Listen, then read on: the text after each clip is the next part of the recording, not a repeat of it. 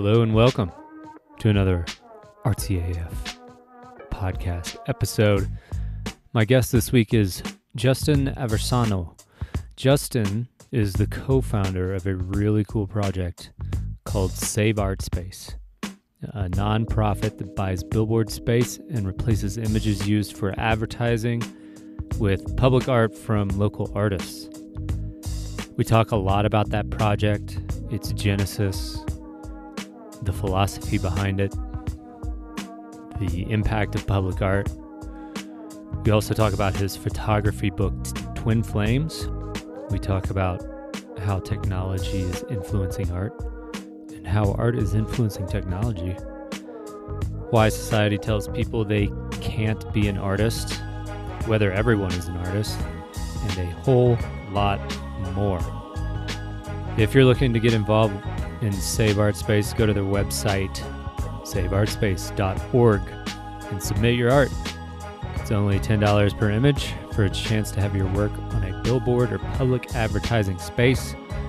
You can also donate there if you're not submitting work and you just want to support the cause.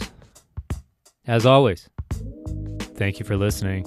And if you would like to support the podcast, go snag yourself a hoodie, or maybe a t shirt, or maybe a mug. They all have the Artsy AF logo on there, and you can get that at www.moteefe.com slash artsyaf. That is Moteefe spelled M-O-T-E-E F-E dot com slash artsyaf. All one word. Let's jump right into it. Here we go. Here we go.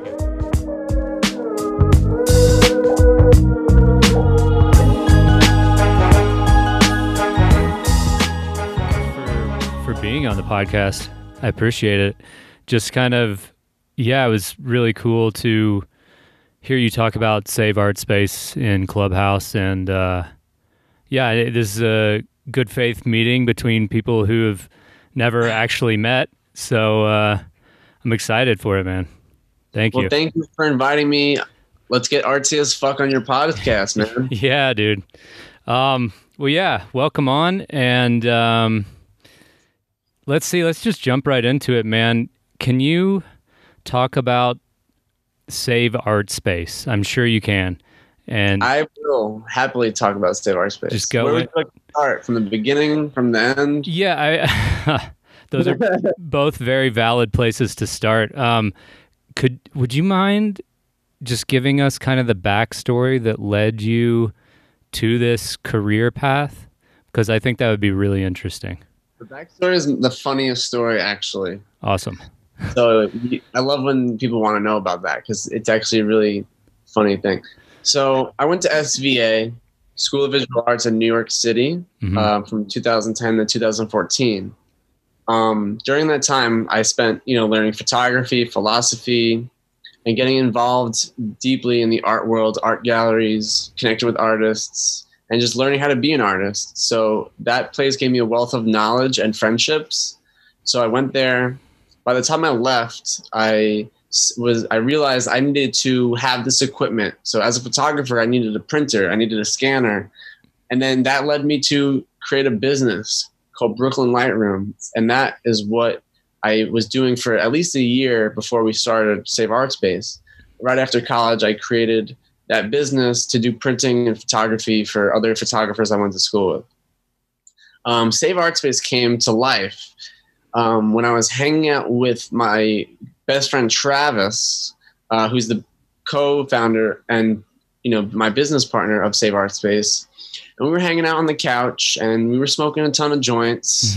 and it was it was January, and we were like, "What are we gonna do for Bushwick Open Studios?" And I was probably on microdose of mushrooms at the time because I was microdosing mushrooms at the time. Nice. So I was just sitting there and allowing myself to download the cosmic information, bouncing ideas off each other, and just hanging out like we always do, smoking sour diesel blunts. So him and I were sitting, and I was like, you know, what, Travis, I've been we've been we have been walking around, you know, and we we've been seeing all these bill uh, all these billboards take over all the murals in Bushwick, and Bushwick Open Studios 2015 was coming along, and we were like together. We were like, we should totally do something with public art. We should totally try to get these billboard companies to donate space for artists because they're putting their billboards over the murals that drew everyone there in the first place. Right. Yeah. And that, that's a huge sign of gentrification because when the landlords start giving the advertisers the billboard space over the murals, over the art, over the soul of the community, that's when you start seeing gentrification. And that's when we started thinking, okay, we got to do something to thwart that. So we, we thought if we rent the billboards or get them donated, then we could put the art back over the ads that cover the art, which is why we were like, save art space. We're going to save the art space. And it started with billboards because it was taking over our town and we were sick of seeing shitty Corona ads, Adidas yeah. ads. We were tired of it. We we're like, this is boring. This is, we're not, this is boring. So Bushwick Open Studios came and it was coming up. And so him and I, we just started reaching out to the billboard owners saying, hey, this is our initiative. We, we started a nonprofit we literally incorporated that day. We started our website that day. We were we were smoking joints, non mushrooms. We were like, we're gonna we're gonna take this very seriously. We're gonna call them up, start a website, start an Instagram, start a business, and that led to where we are now. But just as a backstory, we were using artists we looked up to on Instagram and photoshopping their art on a billboard to have content to share with the world of what Save Art Space looks like mm-hmm. and why you submit to it. And at the time, it was only it was free, right? And after our first two shows, after I ran out of money because I was paying for it out of my pocket as a seed investment into something beautiful and for everyone. At the time, I was, you know, I had a lot of artwork sold. I was saving all the money I've ever made in college from all of my photo and art adventures. I, I was like holding on because I didn't know what I wanted to use it for. And I, and I wasn't the type of person who went out and drank and got wasted. You know, I, yeah, I bought an ounce here and there every month to smoke, but right. I'm really involved in my art, artistic path and really involved in my art, creating, creating. So I had no time for that stuff. Um, I had saved $20,000 from those four years. And I said, Hey, let's, let's do this. I, am committed. I'm, I'm ready to spend this money on other people. I could have easily spent all that money for my own art for myself but that wasn't the case at the time. My heart was like we got to do something for everybody with everyone who lives and is native to bushwick. So we worked with local bushwick artists we put up flyers we started the instagram we got this shit going. And and it was going. And then we had the curator and we curated the show. We chose local artists. That was our first exhibition. We got 12 billboards. Um, we were in Hyperallergic that first show a sprawling exhibition unto itself because it was in the epicenter of where everyone was walking on Flushing Avenue in Bushwick mm-hmm. off the Morgan L train. So that was like the hypercritical place we were at, and that's where all our billboards were. So I think that was a very important thing to, to note. Um, after that show, we were like, "What's next, Travis?" And we're like, "Let's do Miami Art Basel." So again, I used some more money mm-hmm. that I shouldn't have, but I did because mm-hmm. I wasn't confident enough to ask people to submit and pay ten dollars yet. Mm-hmm. So I bought more billboards in Miami. I bought like twelve more in Miami, and we did the same thing in Miami. And at that point, I was literally broke, and I was like, "Damn, Travis, I can't buy any more billboards." And he's like, "Dude, you should have never bought billboards in the first place. you, you, you're wasting your money." I'm like, "I'm not wasting my money. This is an investment." But I understand why it seems like a waste of money because it's a lot of money. Sure um, to, for for not knowing what you're going to do with it. Right? What, what does like um, if you had to guess like on average, what does a billboard space cost in terms of like a, a big one that everyone can like look up and see? They definitely cost a thousand dollars all the way up to forty thousand dollars. Holy shit! Since we're a nonprofit, they give us a great price, and we've been working with them for so long. We finally broke down like the price from twenty five hundred dollars to like a thousand dollars, mm-hmm. and even it's like pulling teeth. But um, yeah, I mean, it's it's always the case, right? So we always wanted them to donate, you know, Lamar Outfront Clear Channel, but they just don't have the capacity to. Mm-hmm. Even though there's a statute that says that they have to donate uh, space for PSAs, public service announcements. So there's a lot of you know moving parts in that. Um, billboards what? are very expensive. What does so? I'm just curious. What does uh, per, uh, like I guess legally, what does a public service announcement include? Can you just be like, can you make up your own, or does it have to come from you know somewhere like the CDC? Oh, it can't be political. Okay, not be political because that's then you get into their policies and political stuff. So yeah, that yeah. Doesn't, doesn't count as a PSA. You don't get the price, and we had to pay the price to put political art up.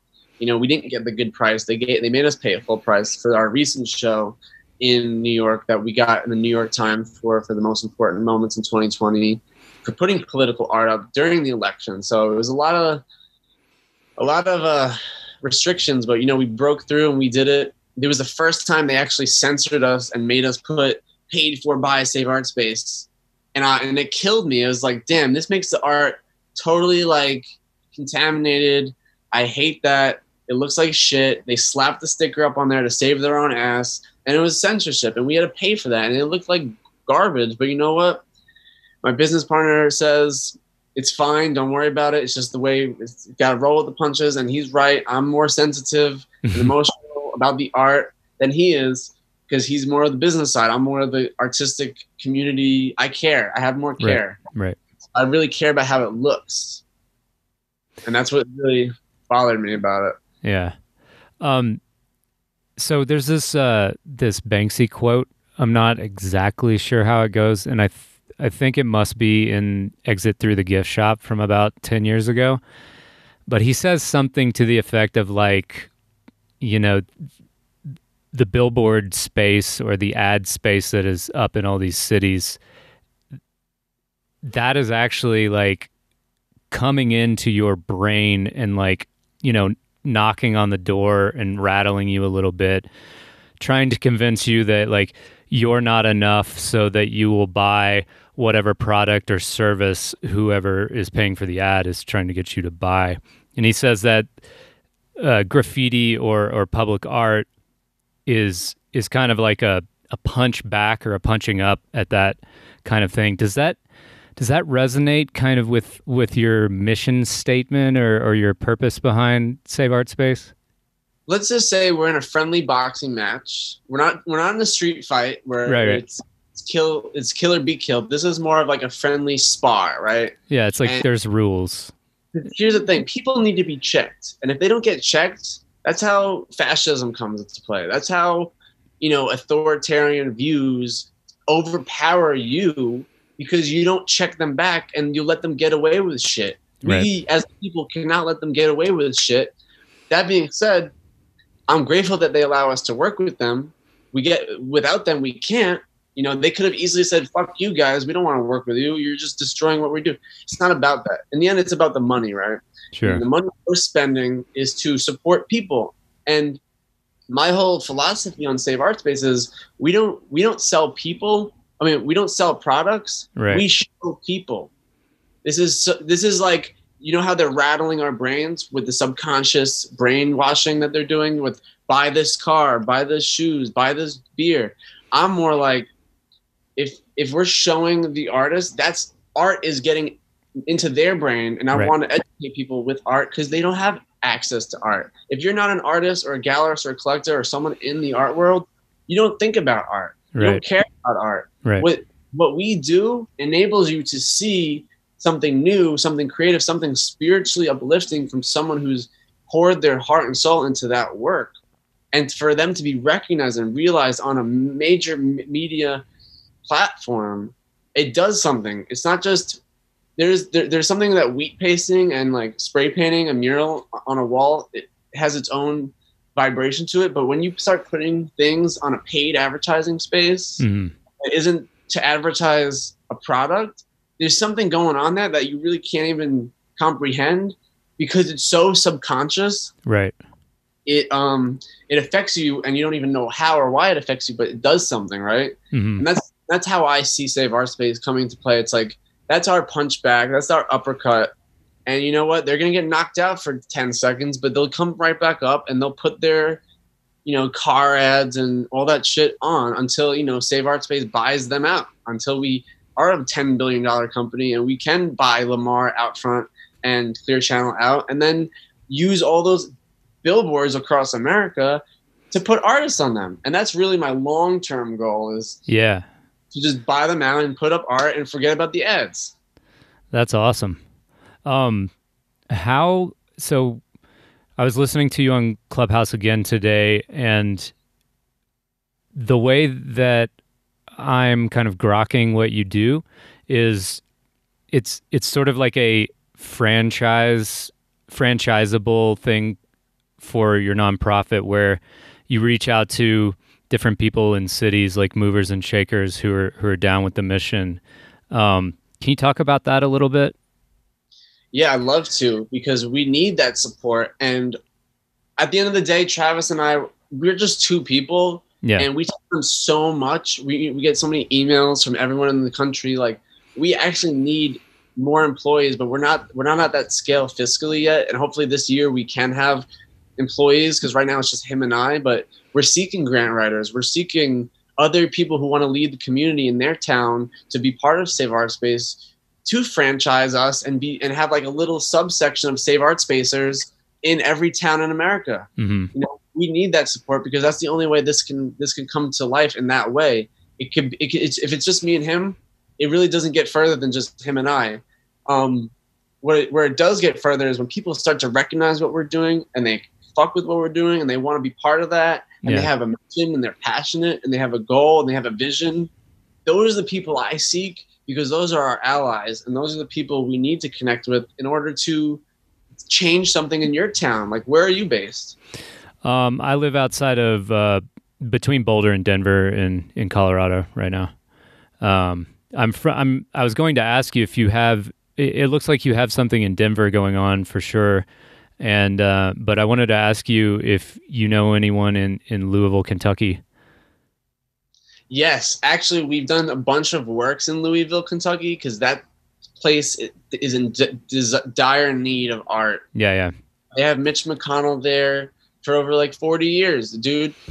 They need they need to be educated. They need to have more art. They need to have more accessibility. They need to think outside the box of what they've been told and shown their whole lives. And I don't want to speak for those people. It's just what I perceive from when I think about or see the media portray Kentucky. It's, it has nothing to do with those people. Sure. It's everything to do with how the media shows them, right? They, they mm-hmm. the media shows them as uneducated. I don't think they're uneducated at all. I think there's good people there, and I think we just gotta get their art on the billboard because they they exist, and the media is like putting a blanket over them, telling them you're stupid, you're uneducated, and that's not even true. The Right. media is stupid and uneducated, and they want us to be stupid and uneducated. Whereas Save Art Space want us to be intelligent and sophisticated because that's where growth is, and that's Right. where life comes from. So you know that's another boxing you know a left hook to the face to that Yeah, yeah. Yeah, I think the media kind of creates these narratives around certain groups of people. You know, it doesn't matter what group you're in, but like you get this distorted feedback loop kind of thing going on when they're like, no, you're like this, like, you know, Kentuckians, like you're all barefoot and like whatever. You vote, you all vote Republican for however many years. And, uh, yeah, I think that like something like having public art on billboards like you were saying it's this it's this subconscious like little flip of a switch even if it's for a moment you see like possibility and you see something that actually makes you think instead of makes you think like oh I want that you know another point on what you're exactly saying that flip of the switch Yeah. is very you know ingrained in the community because if you're one of the artists in kentucky who get the billboard and you have a family or friends who don't understand art when they see you and what your achievements and accomplishments are having your art in the public space that's another flip switcher Mhm. because it's personal and Right. personal is a connect is a connection that can't be flicked off. It can only be flicked on because Right. it has something to do with your life. And when someone in your life who you love and care about or know gets something like that it fl- it does something to you. And that's why we really try to reach everybody because everyone who's an artist you know has those people in their lives that can see their true value and wealth and and and and, and, and all that good stuff. Yeah. Uh, have you heard of uh, marshall mcluhan you tell me about So he was, you know who Terence McKenna is, right?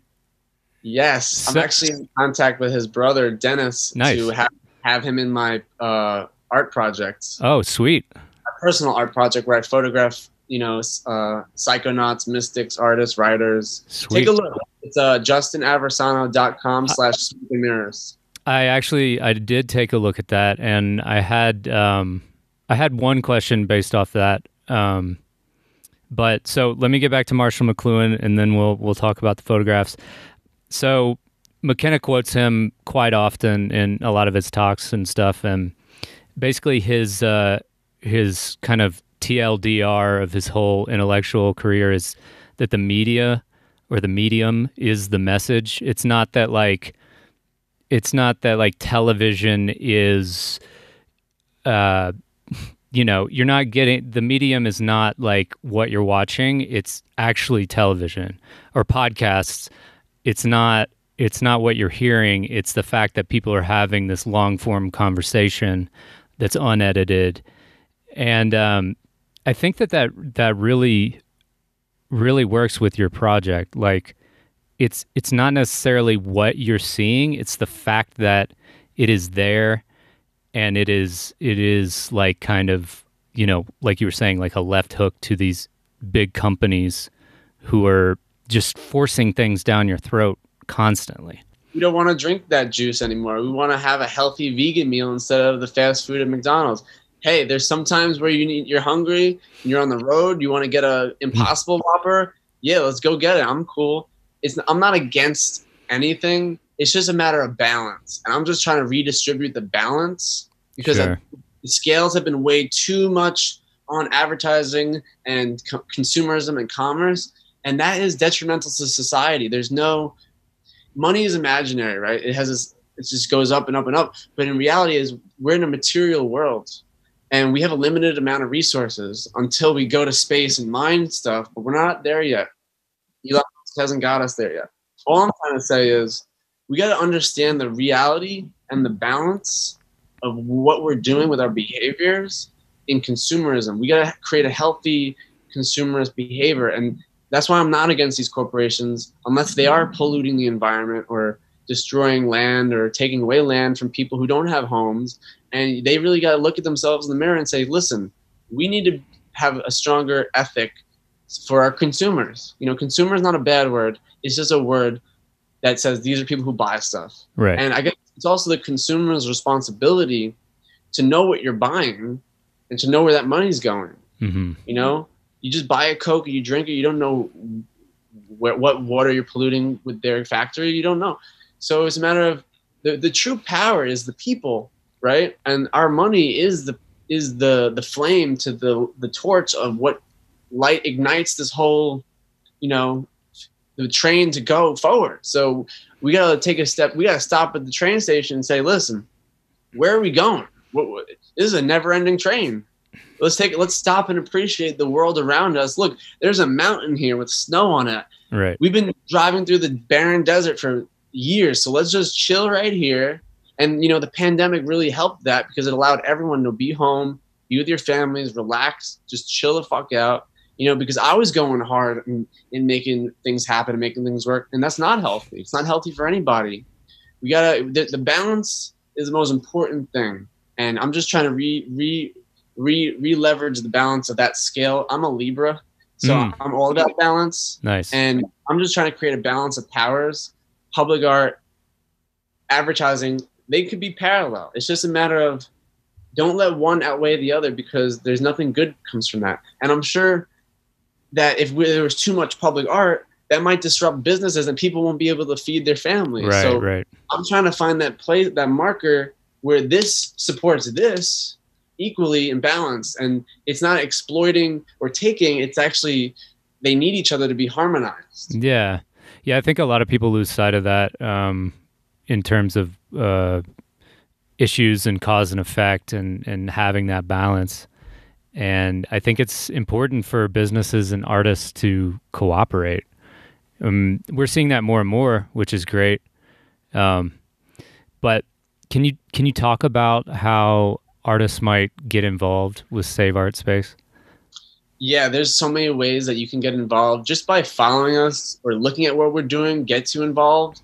You know, seeing our billboards gets you involved. And if you want to be an artist who gets on the billboard, reach out to us. Email me, follow us, say hi. It, it's all about building relationships, getting to know each other. And that's like what I stand by. Like, it's all about building trust and relationships. And that's how you, that's how the art world runs in a way. The old art world, I don't know if there's a new one, but I believe public art is the future. And I know there's there's a lot of digital NFT talk on the on on Clubhouse. Yeah, it's kind of getting old because it's like going in circles because it's Mm. so limited. right. I feel like we need to bring that out of the digital box, bring that into the real world, and show the truth of what these things can do together. Right. Yeah, I was talking to you know NFN Callion. No, Uh, he's he's on Clubhouse and um, he's released uh, some NFTs. He's a he's actually like a physical painter, but he's released like editions of ten of some of his work and stuff like that. are they are they real prints or are they digital prints? They're digital prints, but he doesn't make like real prints. You know what I mean?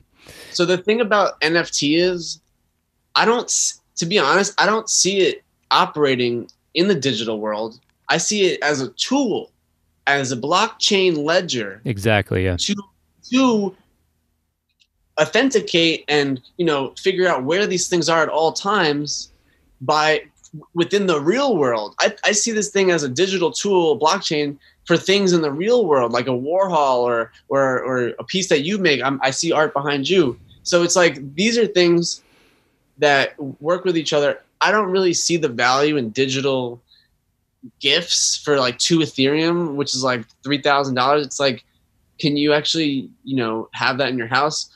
I, people might argue with me. You know, it's all about owning the content and whatnot. But the way I see it working in my perception is, and I try to do this with my art, is I want to create silk screens that I touched, and I want to put those on the blockchain to make available to people um, who. Um, sorry, someone's calling me, so I'm just like It's okay. my- so you, but you see what I'm saying? I, I want to make Yeah. a physical item and catalog it on the blockchain to have for sale on the blockchain. And if it's sold on the blockchain or in real life, then I can authenticate it through NFT because that's how I see um, it operating. Right? I see Yeah. it work. Do you mind if you give me two seconds? Go for just, uh, I think someone's here. Yep. Put me on pause. Someone, someone's just coming to pick up an art piece right now. No worries. Yeah, I, I know what that's like. Um, Okay. So yeah, back low. Yeah, we were talking about NFTs, um, but one thing that that Callion mentioned, and he couldn't get into specifics, but like using the blockchain and NFTs, not just as like an, a new art market, which is great. Like you know, we, I don't know if we mentioned it yet, but when you sell an NFT on the blockchain, you obviously get money up front. Um, this is for the audience who doesn't know this, but and then like if your piece of art is resold, which is what often happens in the art market, you actually get royalties. So that's that's a really obviously like beneficial thing about it.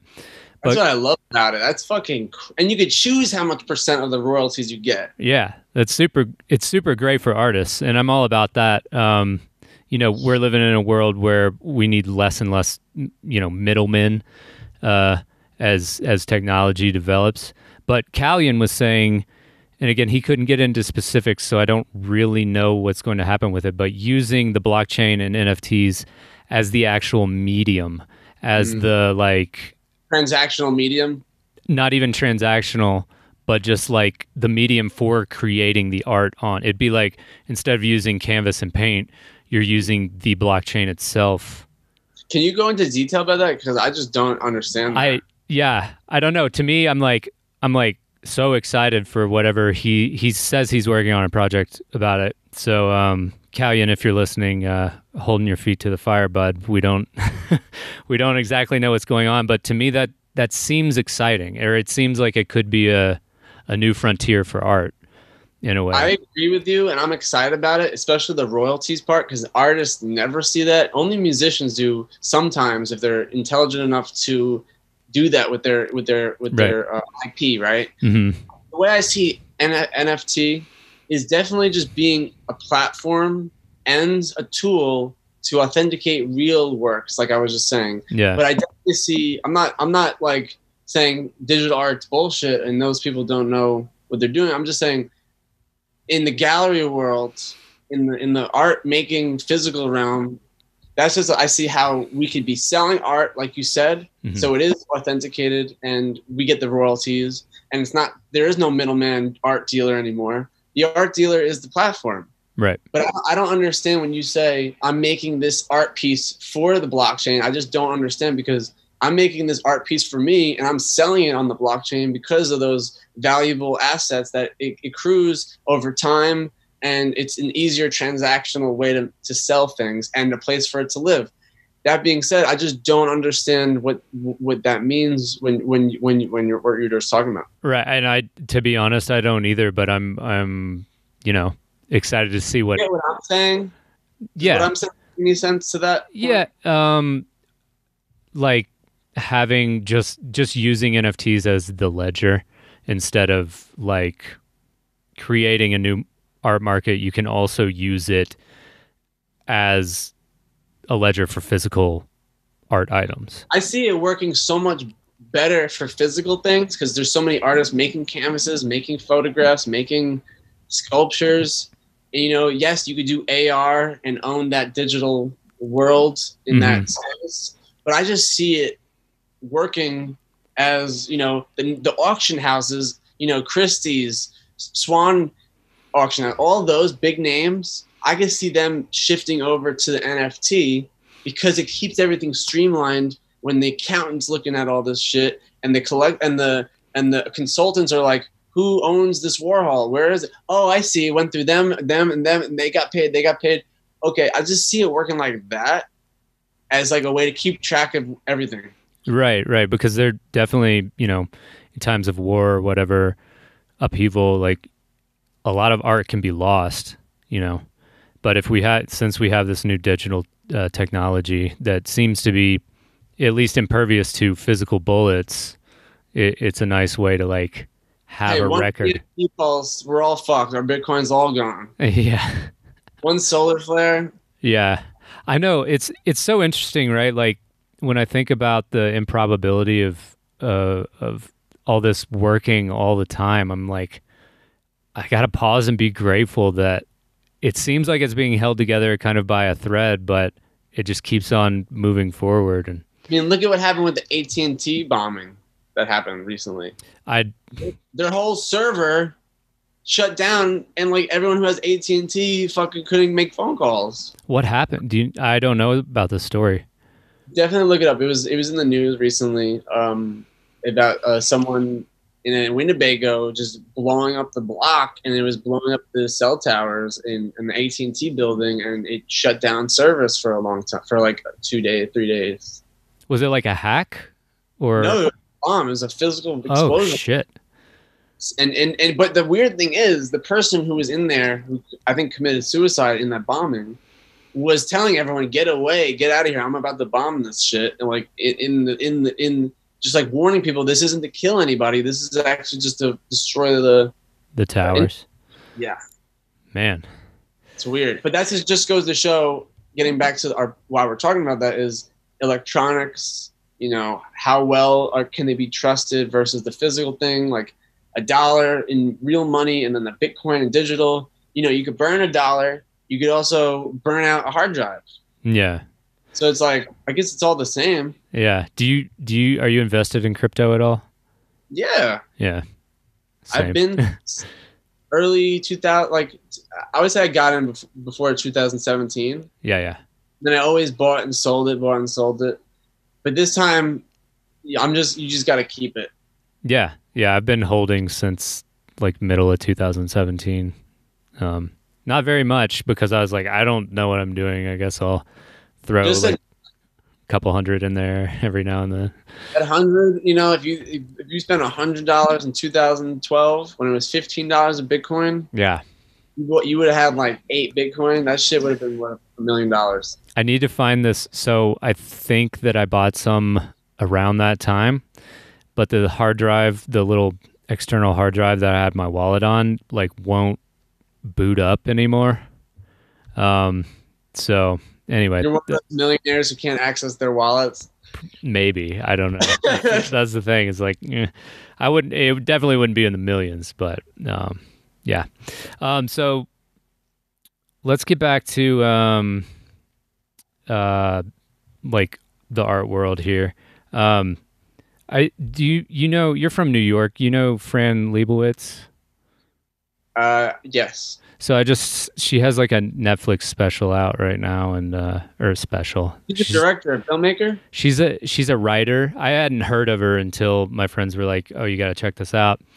And she was talking. the name, but can you can you describe them a bit more? She's like um, she's like she moved to New York in the '70s. She's an older Jewish um, lesbian lady, and she's kind of just like this grumbling, complaining critic, but she does it in such a humor like humor filled way that she's really like you really love her. I guess some people uh, hate her. You either love her or hate her. But um, she was talking about how at Christie's auction house they'll bring out a Picasso, right?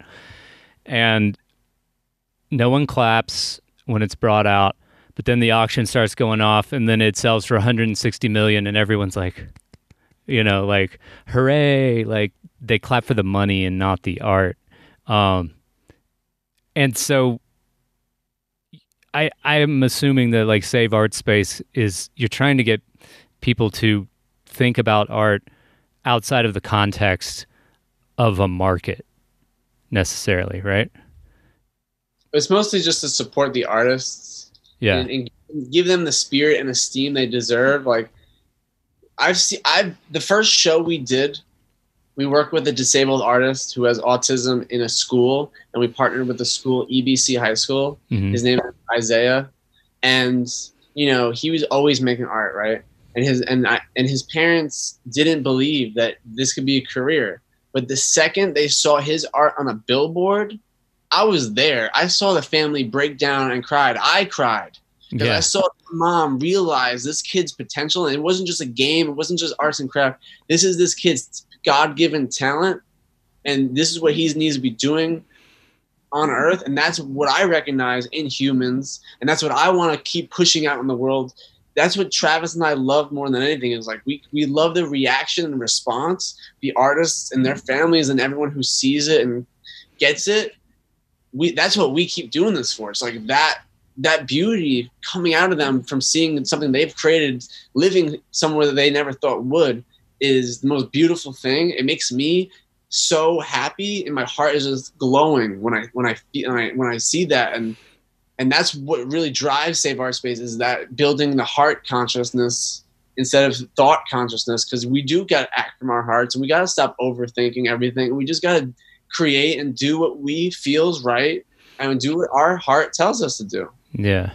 Why do why do you think that there is that I think it's kind of a myth now. It's been more or less proven a myth, but why do you think there's the myth that keeps going that that says like, "Oh, it's you'll never you can't make it as an artist. You can't actually make a career as being an artist or or someone in the creative field."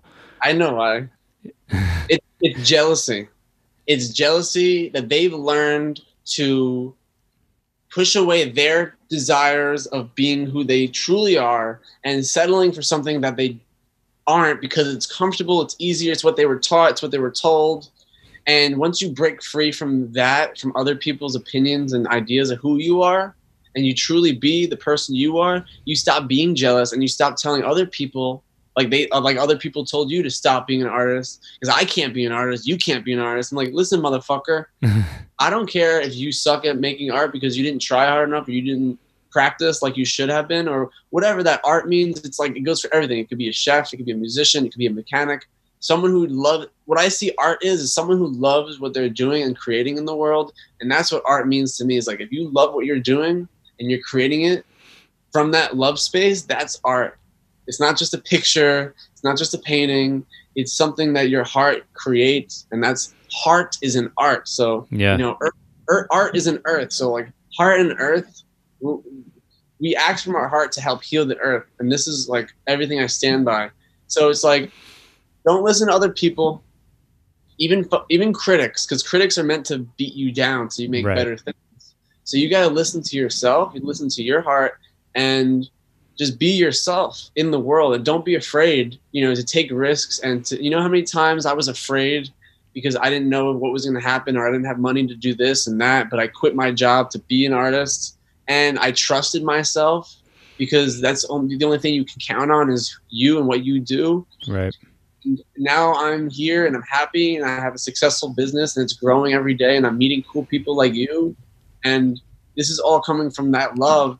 And if I didn't do this and if I quit when I, when all the kids from school told me like you're crazy, this is never gonna work. Why are you doing this? Like you're dumb. And I was like, okay, well I'm gonna do this. You don't have to do it with me. And when five years from now, when you see me in the New York Times, Mm. I hope you recognize how dumb you were sounding when you said that to me. Yeah. So do you think everyone is an artist? um in their own way yeah they if they could like if they is i'm not like a paint like not like technically Sure. uh, if you look at a child they have that innocence and authenticity and that's what art comes from right art Right. art is thing art is a feeling it's not a thing you create you know art can be said oh this is art if you look at this painting i have here that's what Yeah. a physical manifestation of art is but the spiritual the spiritual manifestation of what art is lives inside of you and the thing you create is the art piece that came from that source of innocence authenticity your heart your that truth right? The art is the truth from who you are and your perception. So i believe everyone is an artist if they could tap into that space in them and you know decalcify all the bullshit that they put put on top of that spot and you got to chisel away at it by doing what you love. And if you do what you love what makes you feel good to me surfing is art. I love Absolutely. I love skateboarding. I love biking. That's art because it makes me feel. And when you feel something, that's what art is. I'm right there with you. Um, I think that artists are, are basically just people who have sort of preserved and nurtured their inner child into adulthood.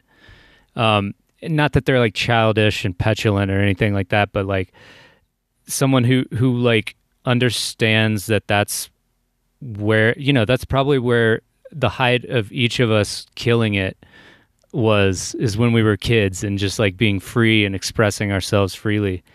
And I think that like also technically language itself is an art form. So if you're out here talking, if you're out here writing a Facebook post, you are creating something. You know, like it's it's a technical thing too.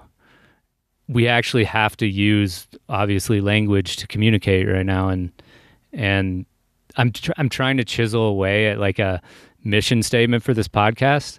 I mean, we're like 60 episodes in now, but um, I think that really I want to convince everyone that if maybe you're not an artist, but it's a very great lens to view your life through because you are creating a life, you are making choices, and um, yeah, I just wanted to kind of add on to that there at the end. Think that's beautiful, and I, I'm I'm I'm glad I'm the, one of your 60th people on here. You know, Yeah, and not many people ask me to be on their podcast. I actually just started my own podcast called the Save Art Space Show nice. with with Travis. And what our goal is in that is to speak to all the 400 artists we've worked with since 2015 and just talk to them, share their story, share their thoughts, why public art's important, why art's important, and who they are, get to know them better. Really, it's just for us to connect with more people and get to know them better and have that conversation and build the relationship.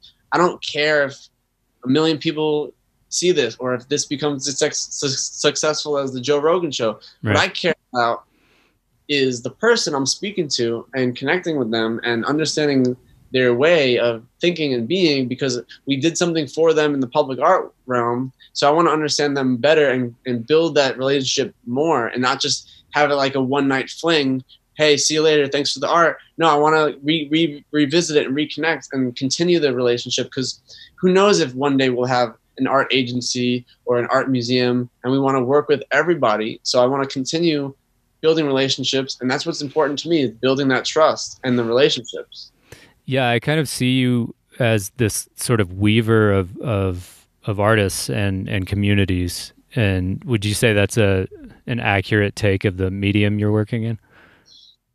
I mean, I'm not a textile designer, but in a spiritual sense, I'm I'm just trying to show the potential of what public art can do and how artists fit in that realm because we all just want to feel belonged in a community and artists are the ones who don't ever feel they, like they belong. They're always the black sheep.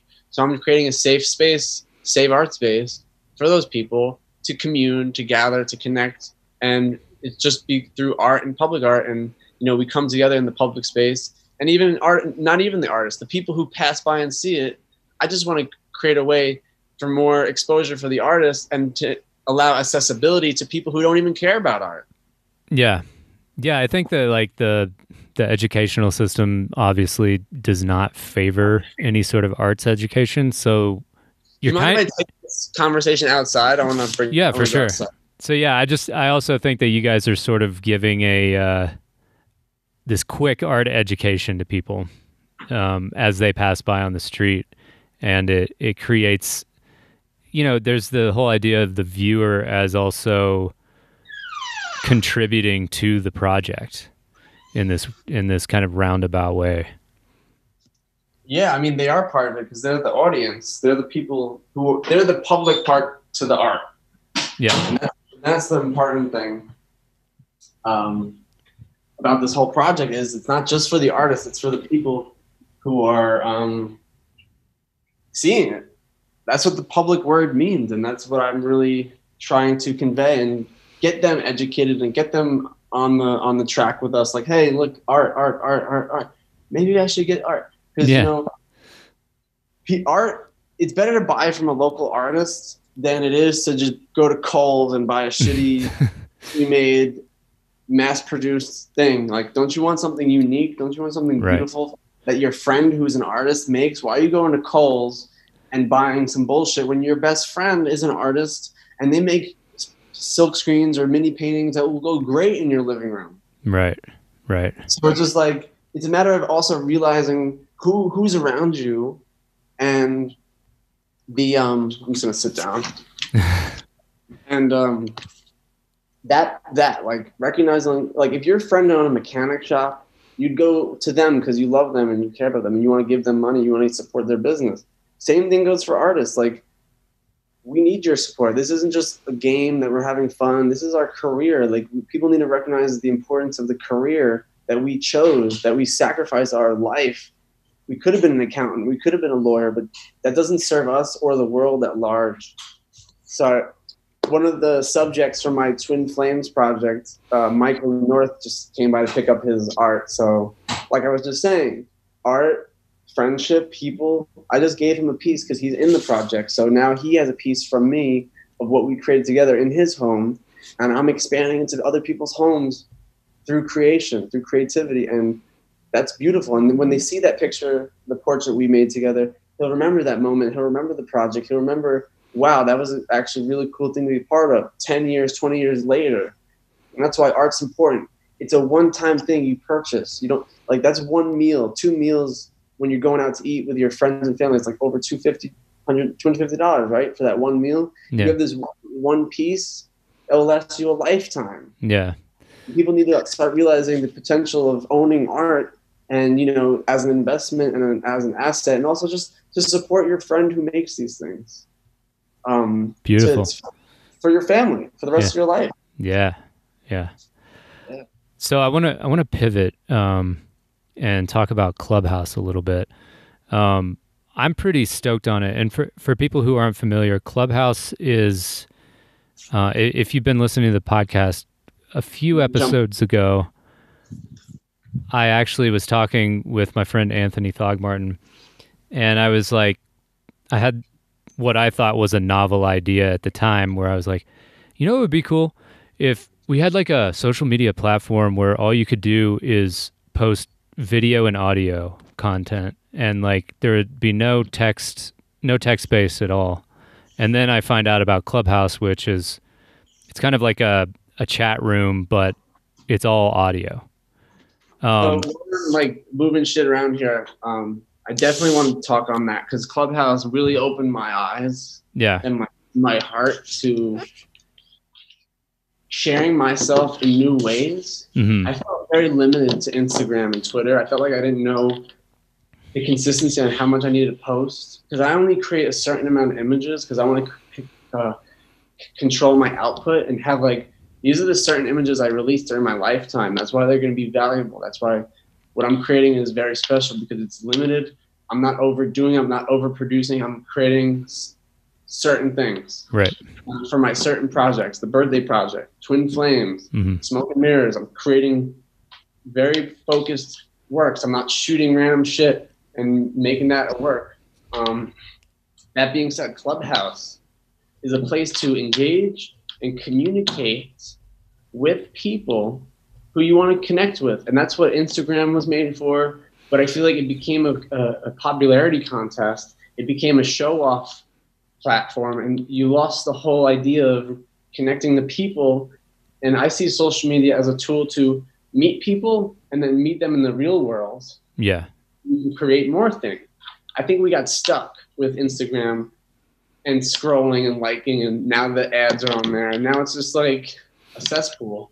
And Yeah. I think where Clubhouse picks up is the ability to speak to people in an equilateral level where no one's the coolest in the room. Everyone has a voice. Everyone's depends what room you're in, but the rooms I like to spend time in is sharing, caring, and giving that respect to everyone in the room, everyone in the audience, everyone, because no one's better, no one's more intelligent, no one's more creative, no one's more successful. We're all here together, and I'm trying to level the playing field by communicating. And communicating is key, and we all deserve that chance to speak. Like if I was ever a celebrity, I would be, I would still make have run these rooms and ask these questions and tell people to reach out because that doesn't that doesn't do anything for me. What Right. does something for me is connecting to the one person who has two followers, but they're doing something really cool, and that's who I'm looking for when I do these things. It's like that's that's who we're trying to support. hmm Why are we going to support people who already have all the support? Right.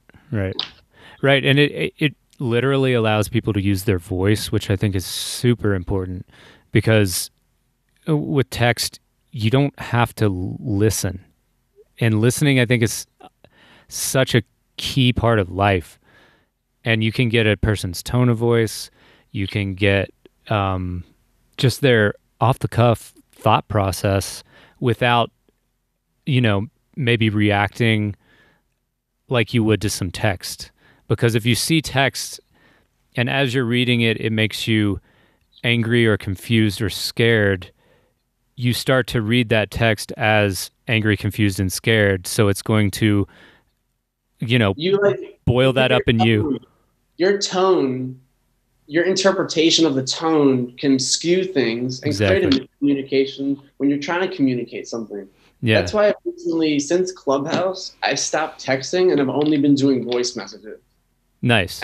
Like, that's the easiest way to communicate. Like, I don't want to text what I'm fucking thinking. I want to say what I'm saying, and you get it, and then you can tell me what you said. It's like a conversation. It's not like I got to edit what I'm saying. I, does this sound good? You're showing everyone in the room. Does this sound good? Okay, sending, sending, send. So it's just like enough of that. We need Yeah. to be, we need to be authentic. Just speak your truth. You know, some people not like, some people might not like what you say, and some people might resonate like you did, and which is why we're having this conversation. Right, right. And even if, but the thing is, I think, is like, even if you don't like what someone's saying, you don't have to interpret it in a, a, the wrong way. You know what I mean? Like, someone has their opinion, they can say it. You can be like, well, I don't agree with that, but I'm not going to completely write this person off because I can tell that they're being genuine or being curious or they just like maybe it's a teaching moment that you can jump in and be like, well, here's a counterpoint to what you said. Um, those are the best moments because that's where we all learn. exactly. Instead Exactly. of preaching to the choir, those people are chal- challenging our ideas and values, and you know, and maybe we both can learn something from this conversation because the toughest conversations aren't peaches and cream. It's like we got to dive deep into into this and really and really talk about these difficult things because that's where growth happens. Absolutely. So yeah, I I just kind of wanted to touch on that. Um, I think it's very exciting. Um, I hope that it doesn't get overrun by ads. I hope it stays in this like kind of pure state. Uh, Who knows if they'll sell out to, to Facebook? But I hope they don't. I I really hope I love this platform, and I don't want to scroll and scroll forever. I just Right. want to talk to the people I'm talking to. right, right. So we'll see how long that takes. Yeah. Uh, do you see any potential, like, you know, there's a trick to seeing around corners with like problems that might arise. Do you see any problems that might arise with Clubhouse? What I see happening is them adding the image feed to make it more streamlined and like having posts. But I really think it's perfect as it is. I don't think it needs anything new to make Right. it better or more engaging. I think the people engaging with each other is is the content. Right. So you don't need to fill it up with shit. You just need to let it be and let it grow and let it. I mean, how are they going to? The, the question with those tech companies in every situation is, how do we monetize this business? Have you seen the movie? Um, what's that? The Social Dilemma. Yes.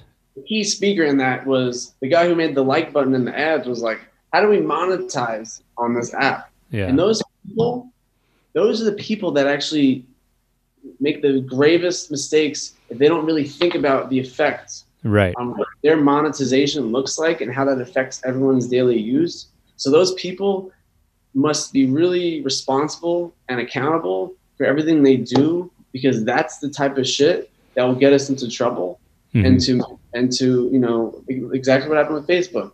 You know, it makes us addicted. So Right. you see that it makes people addicted. Maybe you shouldn't do it. Maybe you're like a fucking meth dealer, a social media meth dealer, and you don't really want to make your clients addicted and you know make their family get lost and whatnot and all those negative things. So you know, just because you could do something doesn't mean you should. Right. Right. That's, yeah, I think that that could be the mantra for uh, Silicon Valley moving forward with, with tech platforms. Also, I wanted to say that, like, the thing that's uh, like quote unquote addicting about Clubhouse is is conversation, which I think humans are just naturally ad- addicted to anyway. It's like literally a part of our biology to be social animals. And and so just keep it at that, you know? Like we don't need all this flashy like button, popularity contest, all that stuff. difference between what you what that is is one is self isolating Yeah. and because you're filling your your holes in your heart with those products and with the posts and your fake happiness on Instagram and whatnot. hmm But the the positive addiction, you know, I wouldn't even call it an addiction. I would Right. call it a reason to stay on this longer because I'm having genuine conversations with people I can network with and grow with and share my life, my stuff with. Right. Yeah. One is isolating. The other one is really building community. And I think it's healthier to build with others than it is to spend more time by yourself, feeling like you want to connect with others. And that's the that's the major difference is you want to connect, but this platform isn't allowing you because it feels too isolated. This one is unisolating. It's completely immersed immersive with everyone. And I think that's good. The only thing that could be a problem is I spent my whole morning on Clubhouse thinking, you know, we were going to do this podcast. I was like, oh, I have an hour. I'll, I'll be on Clubhouse. That shit, you were even on it. Yeah, yeah. I hopped on real quick. Two hour. It was two hours, and I was like, okay, I gotta call. I gotta. I gotta end this room. Like, you know, I just gotta end this room because I gotta make people appreciate what we're doing here, and I, I don't want to overextend it. Sure. And I had to. I had to be that. You know that process in your frontal cortex that's like the no button. Yeah, yeah. Yeah. So I'm like, all right, Justin, this is the no button. You gotta like end it now. Leave everyone to think about what we're talking about. Otherwise, the conversation never ends, and you can't ever digest what what's been said. Yeah, so yeah. leaders of the room need to know when to stop and to and to to know their accountability and responsibility. And I was like, okay, I could keep this going. I could let other people moderate, but I was like, you know what? That doesn't feel right. I'm just gonna end it so it gets people excited for the next one. And maybe it should only be an hour long, Yeah. so you, so you don't waste your entire morning. Your girlfriend's mad at you because you're not paying attention to her and whatnot. yeah. Yeah, yeah. That's what's important to realize, and I don't want to be that person. I want to have, I want to spend enough time to connect with people, but also live my life outside Yeah. of that. It's addicting because you want to connect with so many people, but it's also like you got to have a restraint of your everyday life and like, okay, that was Yeah. enough. I had enough. Yeah. My father is growing like crazy, but I don't want to keep that. I don't want to. That's not the only thing that I'm doing this for. So I'm gonna end it here. I'm gonna make breakfast. Call it a day. Yeah, it's just it's the same thing as like, you know, water is good for you, but like drinking 2 gallons at once might kill you, you know. You have to be able to process and digest and like hop off for a little bit, then hop back on. And that's how you learn. You have to take that break. Sort of that like, you know, you're at the top of the peak of the of the wave and then you like come back down and take a little rest. Um so want to pivot one more time, just a small pivot here. It feels like every time I'm on Clubhouse, the it, I I pretty much only have gone into rooms about art so far, or with other artists in there. But every time I'm on there, people are talking about some new exciting um, AI or or technological advance with merging with art. I've been Um, noticing that too. yeah, I'm It- always trying to bring it back to like, hey guys, let's talk about real life stuff. Everyone wants to talk about NFT. Everyone wants to talk about virtual experiential art. But I'm just like, yo, yo, yo, slow down, slow down. Remember what we what we came from. Remember what we built these things off of. Like, let's not pay, let's let's pay respect to the elders and and reality. We don't want to spend much time in the digital world yeah, because we are human beings in the real world and we don't want to become surrogates for AI. We want to be ourselves. So hmm that's where I like to draw a line when I'm having those conversations and people were trying to like hijack the room to talk about NFT and other shit. And I was just like, whoa, whoa, whoa, let's bring this back to public art, the real world. And if you want to talk about NFT and all that stuff, connect it with what I'm talking about. Otherwise, I, it doesn't have anything to do with what we're, this conversation's about. right. Yeah, that's That's- another good point to like have rooms with like an explicit purpose or an explicit topic that you kind of want to revolve the conversation around. I think that also is is part of the responsibility of like the moderator, the person who creates that room. Um, well, I was going to ask you uh, where where do you see technology taking art, and also where do you see tech or art taking technology in I don't know, say the next Great decade? question. So me, I like to be balanced, right? Yeah. I don't like to fully immerse myself in the digital world and only think about digital things and only care about digital transactions and Bitcoin and NFT and AI. You know, there's a use for that, and we need to understand because it's coming at us so fast what that use looks like and how we could use it responsibly. Otherwise, we're just throwing ourselves into the matrix. Mm. we're gonna plug ourselves in and we're gonna lose ourselves. And i'm trying to be the force that's like yo walk tread lightly because there's something here we really need to sit and understand before we just jump into it. Yeah, so that's why i like you know balancing. I love all that. I love new things. I love learning. I love understanding. I love technology. But i also understand the value of looking at what we're trying what's coming at us and um, what's that word? It's like filtering these things so we can move uh, how do we use those things as tools to help us and not make us slaves to its uh, means? How do we make it serve us rather than us serving it? Yeah, so that's really important to me and like before we have this like neuralink thing that elon musk creating like how do we responsibly source and use those things without getting hijacked and hacked with our within our brains and yeah, hitting singularity through his SpaceX satellites and Tesla batteries and Neuralink modules in our brain that you know we could instantly be turned on and like become robotic AI brainless humans. yeah, yeah, So that's just like something you always got to think about is like what is this technology doing? Who is it serving? yeah, Is it me? Is it for is it for someone else? Hmm. Is it a monetization game? What's going on here? That's why being in reality and being in nature is the best place to meditate on those things. And at the end of the day, it's about balance. How do we balance real reality and the digital world? hmm And that's that's you always got to have those two things equal equalize, or else we're fucked. Yeah, I agree. I think it's definitely um, good to be cautious until, and I don't even know if we can fully understand the implications and, and again, seeing around corners with with some of the technology that we're messing with. But you know, some people think that, um, and this is in quotes. I can't remember who said it, but that we're just the sex organs for AI. That like we're like the chimpanzees, and the AI is like the the next iteration of human or something like that. And I really, I hope that that's not the case.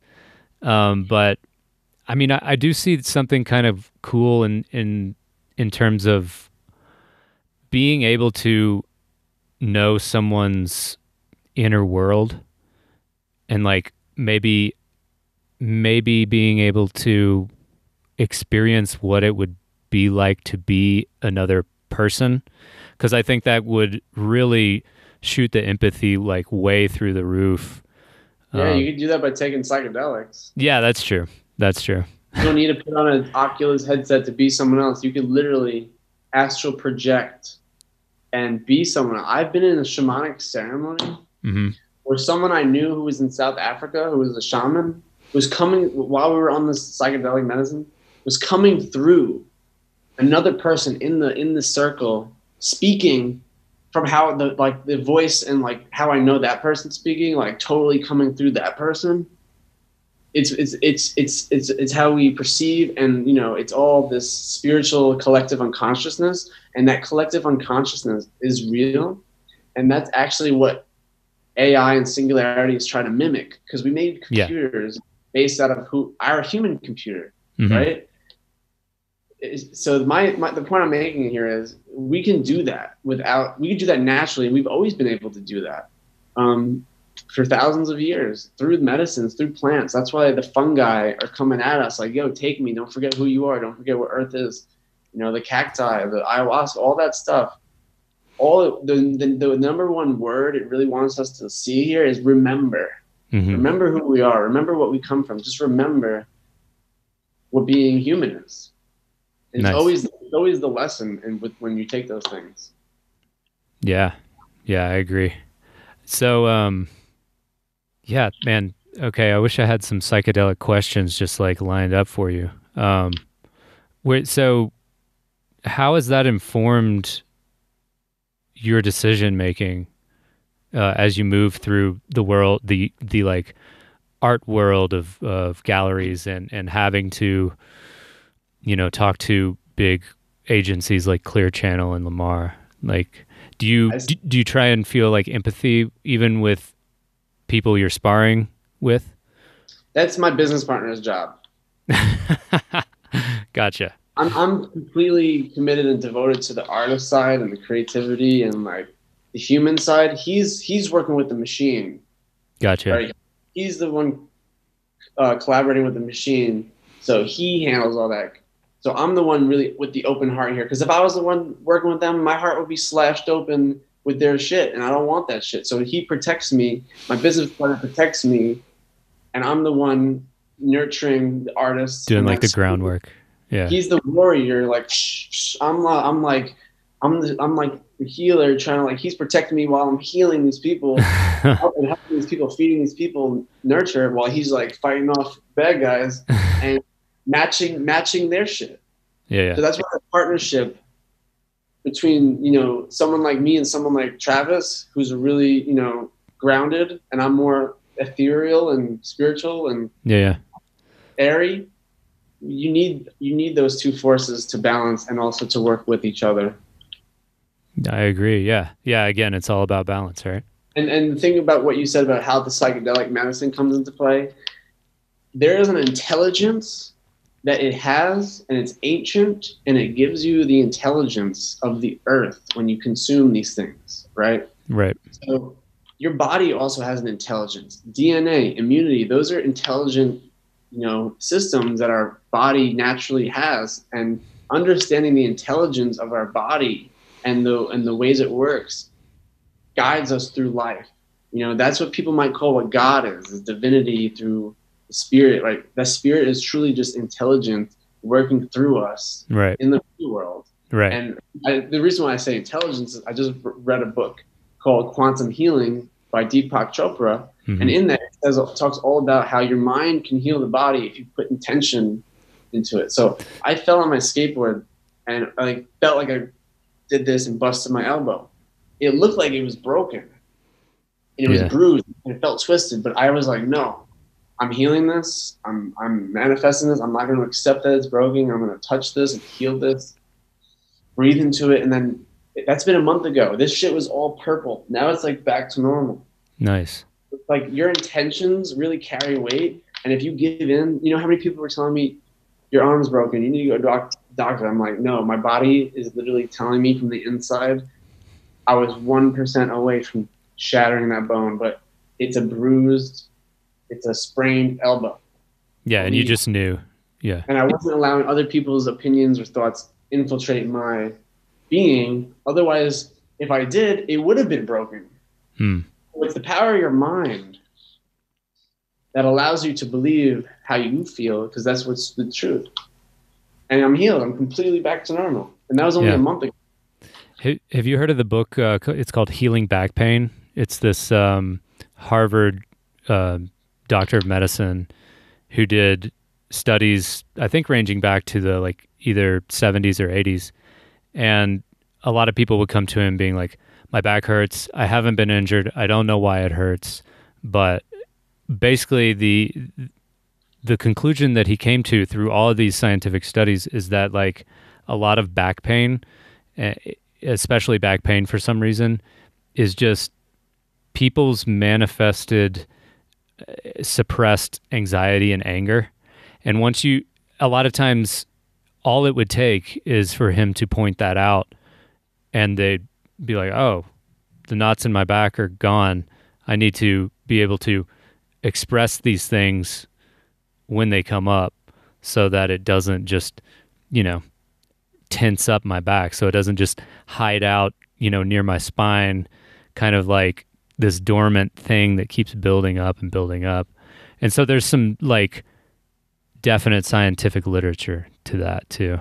So I agree, and I've studied the same exact things, and it's literally the dis-ease in your body. That's why it's called disease. yeah, yeah. And that's you never got into like a physical thing, but your back starts to hurt. That's that's that's something you're carrying spiritually that you haven't released. And I'll and I'll give you an example. Um, so I've been carrying grief, sorrow, all this, all these painful things in my lungs, and Mm. recently I've just been like, I've been excavating those grief places because I, I lost my mom seven years ago, and I, I healed with my sister and spoke about that. And when I did, like all this mucus and gross shit came from the bottom of my lungs out, and it felt like a fucking exorcism of all this gross shit coming out of my lungs because I wasn't allowing myself to breathe. I felt suffocated in grief and sorrow and all this negative shit. So when my sister came, she basically was like my shaman and healing me. And like she was there for me. She sh- showed up for me and hold, held the ground spiritually for me. And it allowed me to connect to those deep wounds and excavate and heal and pull it out and let it go because there's no room for it. Otherwise, it turns into cancer. It turns into um, emphysema. It turns into um, what's that disease where you don't where the mucus doesn't stop. Um, what's that one called? Hmm. Anyway, it's just the more you build, build, build on it, the more you set yourself up for disaster. So you gotta you gotta get that get it before it's too late, and you gotta excavate those deep wounds from childhood, from trauma, from all those things, and the back pain comes from that. The back pain is like the stress of you know your mom and dad getting divorced or whatever. Yeah, yeah. You gotta accept these things, and the acceptance sets you free. Yeah. Yeah, I agree with you on that.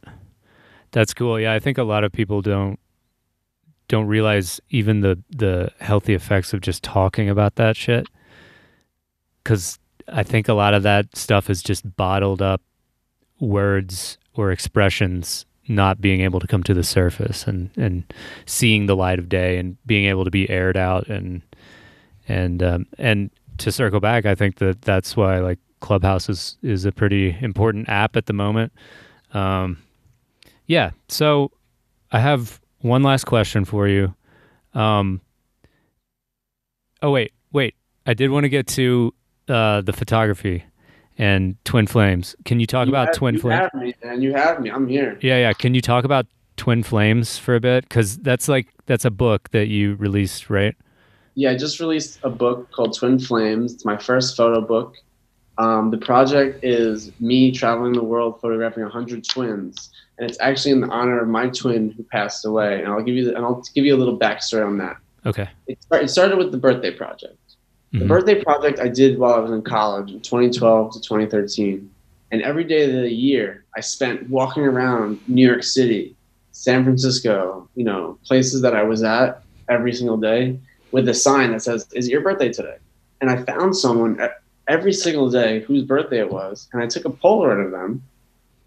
And I had awesome. the whole year in the calendar. And if you go to my website and you go to Every Day as a Gift, I did that project because my mom was dying of cancer and she had in the living room that something that said every day is a gift and that would inspire me and like give give me meaning to life so that year i was like i'm going to show my mom i'm going to do a really massive project uh, this is for her this is like showing her what every day is a gift looks like through humans and it allowed me to that project putting myself out there every day before social media really took off and just being myself and showing the world me like uh, people thought i was a homeless kid asking for money but and somebody even handed me a dollar. I was like yo no no no. Did you look at my sign it says it's your birthday today. I literally found someone every single day. I didn't do it every day because i knew people whose birthday was that day but the days i didn't you, Yeah. you'll see me in the streets with that sign. Yeah. point being that year my mom passed away after i took her picture. So that was the last photo i took. January 16th 2013 was the last time i photographed her. And she passed later that year. And actually a year later she passed away in 2014 um, on, like two days after her birthday. So that project was really honoring her and showing her who i was as a human and connecting with people and breaking out of my shell letting go of anxiety that project really helped me become someone who doesn't care what people think about me because it allows me to connect with people who do Right. that's just the precursor right what led to that project was my mom had ovarian cancer and that twin flames she had a miscarriage during our pregnancy with me and i lost my fraternal twin sister who I later is known as alessia in the spirit world, she came to me in a shamanic ceremony. Some psychics were with me. They were communicating through her. It was a whole shamanic thing. And I carry I carry a lot of grief in my back from that. And during that experience, I, I was like roaring and crying and, and releasing it, and a fucking black bat shadow thing came out of my mouth and flew away. So, Twin Flames comes from honoring my mom, my twin sister who never came to life, but in a way, I'm connected to the spirit world through my twin, and I'm in the real world. So it's like this. I have these spiritual guardians with me at all times because of those connections. Um, twin flames is just me trying to connect with other twins, understanding that relationship, honoring other twins, because I see twins as mythic, sacred guardians, and they're they're a sign of luck. If you, depending on what culture you're studying, you'll get different um, different interpretations. So that project I finished 2017 to 2018. I had a major exhibition in New York. Um, I'm, I'm I'm now in LA.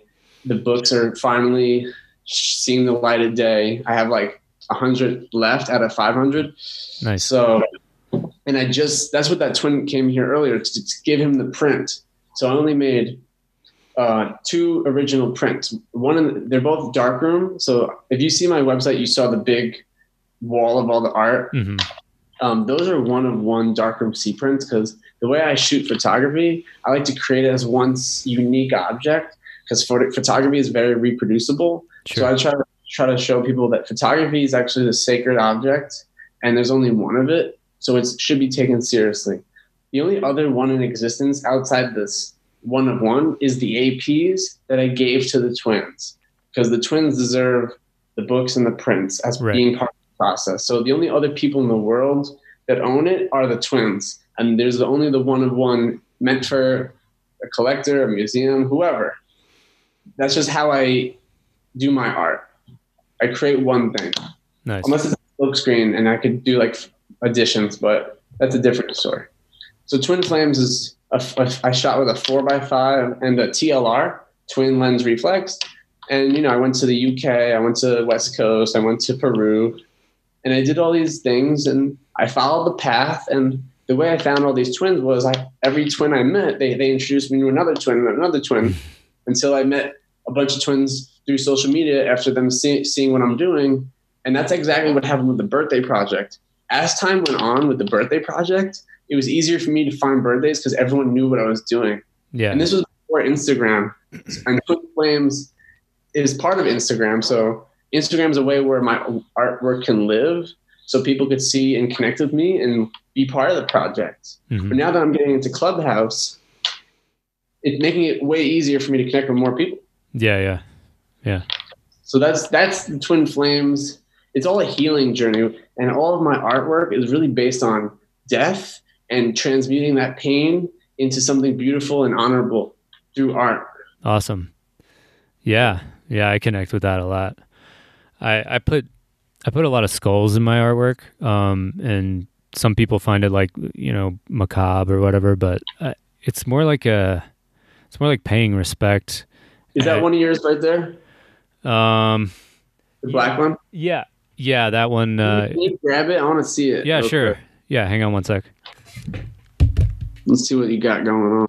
So this is uh this is a work in progress. Um I've been doing some a lot of black and white stuff just kind of focusing on like values and not color so much. And in this one I'm trying to kind of integrate like patterns and the natural world.